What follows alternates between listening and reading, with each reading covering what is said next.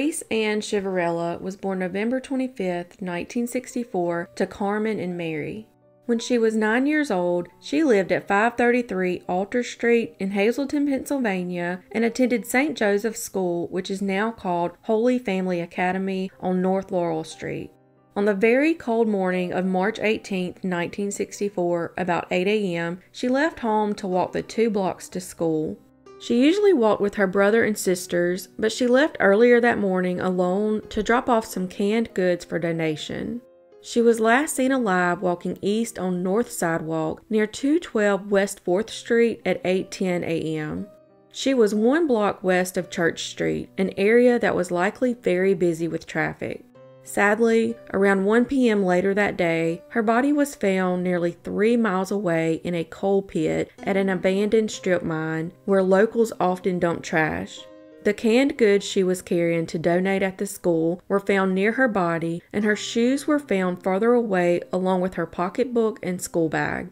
The investigation revealed Marise was physically and sexually assaulted and murdered. Police interviewed a number of suspects and compiled theories. One suspect, whose common law wife lived on 4th Street in a home that Marise passed by as she walked to the school, was scheduled to take a polygraph test, but instead of taking the test, he committed suicide. In 2007, numerous specimens collected from the victim's body and clothing were submitted to the Pennsylvania State Police Laboratory, and a suspect DNA profile was developed. However, it never matched any profiles in CODIS. In 2019, bodily fluids recovered from her body were sent to Parabon Nanolabs, and using new technology, they were able to create an image of what the killer could look like, including the color of their skin, eyes, and hair. DNA analysis showed Marise's killer to have tan and fair skin, green or hazel eyes, and medium brown hair. The analysis even described the killer as being European, specifically from Italy, Greece, or of Middle Eastern descent. With the newly acquired DNA analysis, investigators could eliminate any suspects with blue, brown, or black eyes and anyone who is Asian or Native American. Sadly, the one thing the analysis did not suggest was the age of the killer. Therefore, three age enhanced pictures of the man were created at ages 25, 40, and 60. Since the release of the images, investigators have received many tips as far away as California, but none have led to a suspect. Many people believe that her killer was the same person that raped and killed another nine year old girl named Carol Ann Dougherty a year and a half earlier in Bristol, Pennsylvania. Her father found her body on the landing of the choir loft in St. Mark's Roman Catholic Church in Bristol on October 22, 1962. An article of clothing was stuffed in her mouth just like Marise. The night before Marise's murder, about a thousand people from Bristol were in Hazleton watching a high school basketball playoff game in the St. Joseph School gym. Some believe Marise's killer may have been in town that night from Bristol and stayed overnight. It's been 57 years since Marise was murdered, and as of today, this case remains unsolved.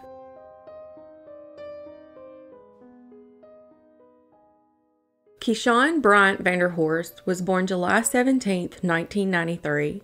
He lived in the 1400 block of North 17th Street in Philadelphia, Pennsylvania, with his mother, Tina Vanderhorst. Tina had a long standing drug and alcohol problem, and prior to Ke'Shaun being born, four out of her six children died as infants. Eight month old Terrence Slaughter died in 1980, three month old Katrina Stevens died in 1983, and 10 month old Kenneth Stevens died in 1985. Their cause of death was considered to be pneumonia and sudden infant death syndrome, and Tina was never charged with any crime in the cases. Then in 1988, she had a daughter, Marie, born premature and addicted to crack cocaine. She weighed only one pound at birth, and she never left the hospital before she died at four weeks old.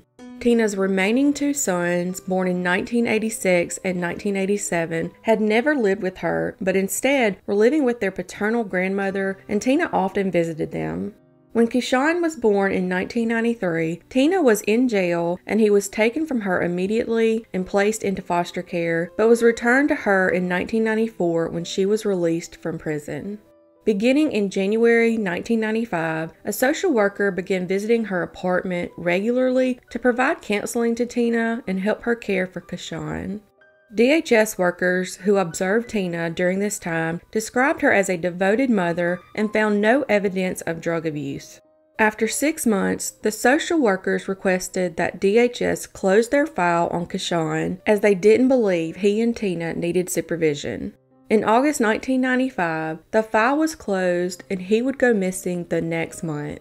Tina told her relatives and police that DHS had taken him, but her family became suspicious and her sister reported Ke'Shaun as a missing person three weeks later on October 13th. When investigators searched the apartment, it was described as filthy, cluttered, and rat infested. Tina repeated the story about Ke'Shaun being in DHS custody, but DHS had no child by that name in their care. She was then arrested for a parole violation and later charged with dealing in infants, which means the selling, trading, or buying of children. She was also charged with endangering the welfare of a child and corrupting the morals of a minor. After her story about Ke'Shaun and the DHS was proved to be false, Tina stated that she sold him to an African American woman named Virginia Graham.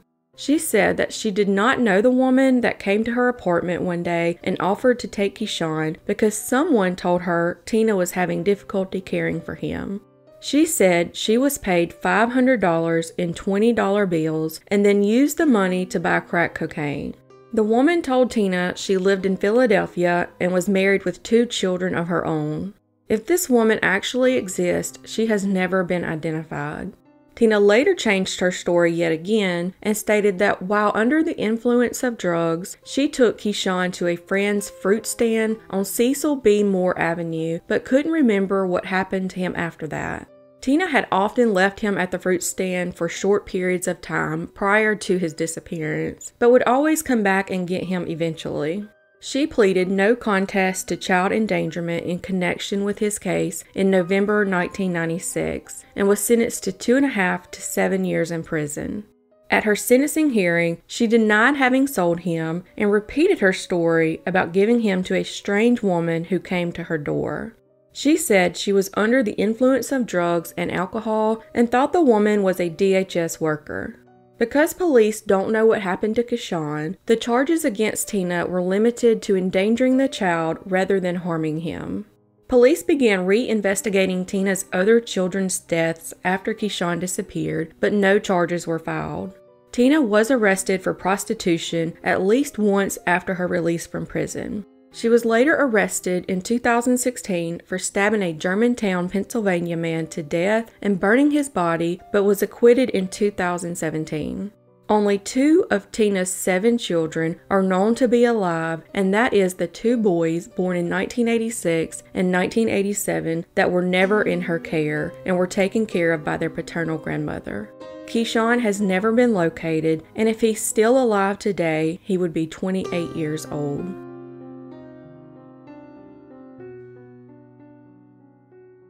Anthony Peter Tumolo was born February 28, 1952, and lived on Princeton Avenue in Philadelphia, Pennsylvania. On October 15, 1966, Anthony and his best friend Jack Marino, both 14 years old at the time, got up early to do their usual paper routes, delivering the Philadelphia Inquirer.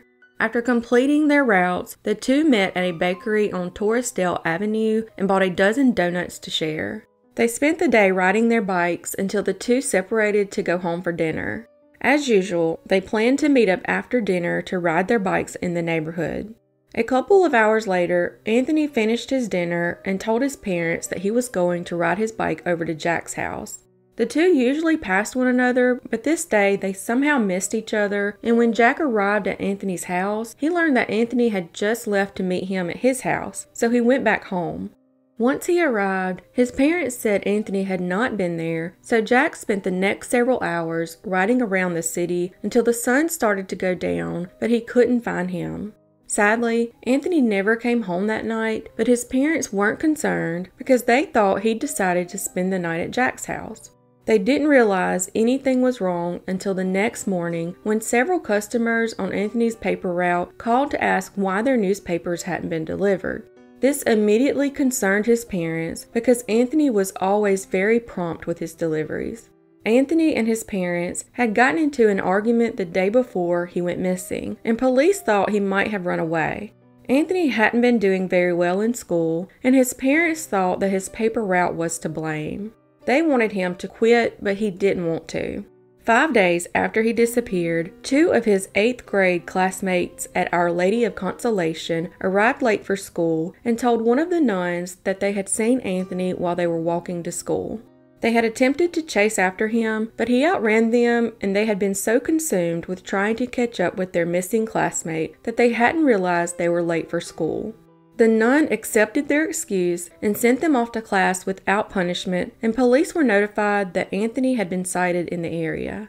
The police stopped looking for him after that, believing he was safe and did not want to be found. They told his parents that he was probably still angry about their fight and would come home when he was ready. At this point, Anthony's parents had accepted that their son was a runaway, and they believed that he would eventually return home. They were so confident in this belief that they didn't even bother to call relatives and tell them he was missing. However, his friend Jack disagreed and became very frustrated with the adults over the runaway theory.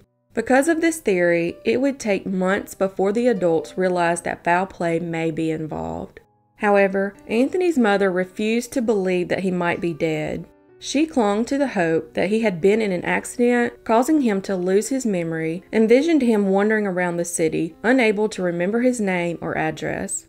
His father also thought that Anthony had been in an accident, but doubted that he had survived and didn't like to talk about it. Jack somehow knew that Anthony wasn't a runaway because of how close they were, and he had never confided in him about wanting to do that. Anthony was also very close to his family, including his eight siblings. He also left behind an uncashed paycheck, some cash, and other belongings in his room, another sign that he had not planned to run away. Jack later became a Philadelphia police officer, and many years after Anthony disappeared, he ran into an old classmate, one of the boys who had reported seeing Anthony shortly after he disappeared. He admitted that he and his friend had lied about seeing Anthony because they were late for school because they had been smoking and didn't want to get into trouble. Jack believes Anthony was possibly struck by a vehicle while riding his bicycle, and the driver panicked and hit his body and the bike, which has never been found. Interstate 95 was under construction in the area around the time he disappeared, and it would have been relatively easy to conceal a body his size at the construction site. Anthony was only 5 foot 1, weighing about 110 pounds. As of today, Anthony has never been found and this case remains unsolved.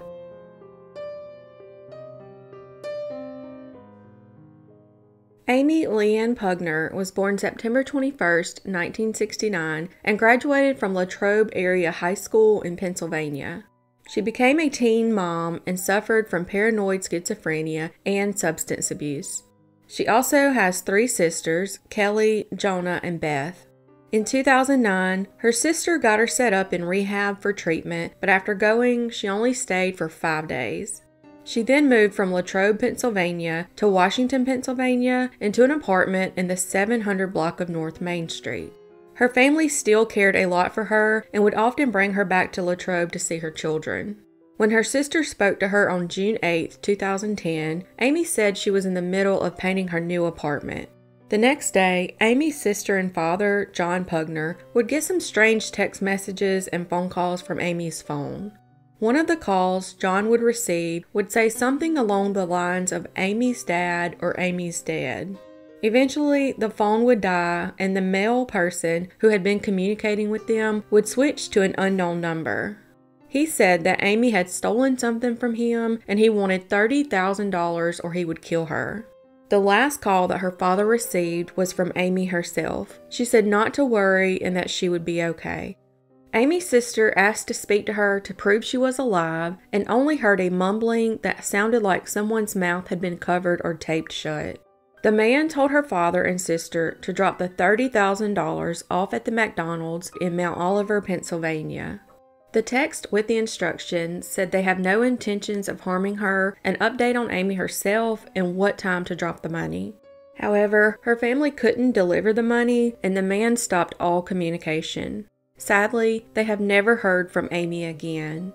On June 10th, her family came to Washington and reported her missing. Authorities could find no evidence of a struggle in her apartment.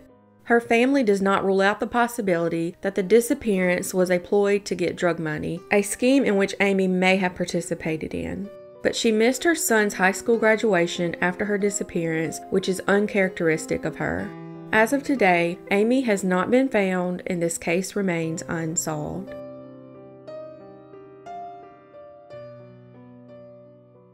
Juanita Marie Todd was born December 16, 1949, to Mimi and Junius Todd.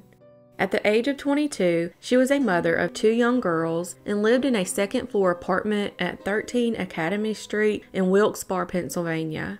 On September 28, 1972, at 3:10 a.m., an unidentified man called the police department and said that there had been a homicide at an Academy Street apartment in the city and gave the address and hung up the phone. Several police officers were immediately dispatched to the address, and when they gained access to the apartment, they found Juanita's body. She had been stabbed and strangled to death. There were no signs of a sexual assault, and both of her girls were unharmed.